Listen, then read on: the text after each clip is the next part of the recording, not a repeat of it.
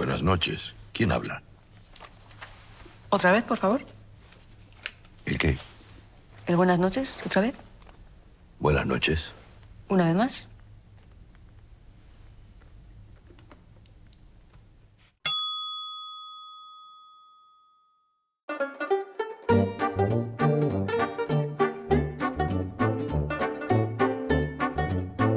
Estos dos actores tienen una paciencia infinita con ella. Es una persona que no escucha mucho, que siempre va por delante, que siempre asume que lo que ella dice es más interesante que lo que dice el otro. Una persona a la que le da exactamente igual lo que piensen de ella, a, unos niveles que, no son muy saludables porque a veces ponen al otro en una situación muy desagradable, ¿no? Es, le convierte en, en alguien muy, muy egoísta.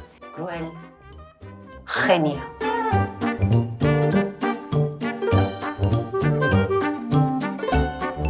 Félix es, una, es un actor eh, frívolo, disfruta de la vida, eh, no se compromete con nadie, excepto consigo mismo, que no cree demasiado en, los estudios, cree pues mucho pues en la intuición, contrasta absolutamente con el personaje que interpreta a Oscar. Maestro, por fin nos conocemos. Iván es un hombre al que yo percibo resentido, por momentos piensa que se ha equivocado, con su rigurosidad y con su ideologismo excesivo en relación a la profesión.